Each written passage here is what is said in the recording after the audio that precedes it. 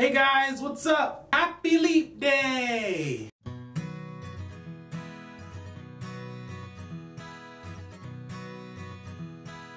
My name is JT and it's Interesting Fact Monday. So I haven't done an Interesting Fact Monday video in a while. I decided to do a Leap Year Interesting Fact Monday. So a leap year happens every four years, well almost every four years, except for years ending in double zero.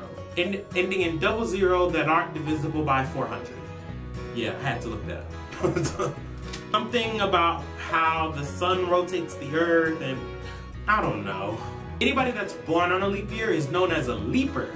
Uh, did you know that the rapper Ja Rule is a leaper? And those people that are born on February 29th, some celebrate it on February 28th, some celebrate it on March 1st.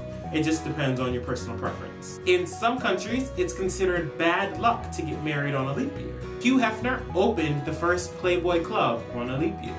Oh, something else that I found out. If you are on a fixed annual wage and you work today, you're working for free. So those are just a few interesting facts about the leap year. Uh, if you like my videos, then give this one a big thumbs up. It lets me and YouTube know that you like the videos that I'm making and you want me to make more of them. If you want to see any of the other videos that I make, then you should subscribe to my channel. Click on the green subscribe button. It's somewhere on the bottom of the screen. Click on it. Don't worry, I'll wait. In the comments below, tell me what your favorite thing about the leap year is. Make sure you guys follow me on my social media. Instagram, Twitter, and Snapchat at JaiKadence. And make sure you also follow me on Facebook. If you guys want to see other interesting fact videos, you guys can click right here.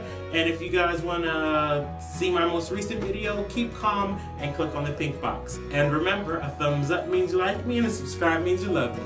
And I love you too. And I'll see you guys next time.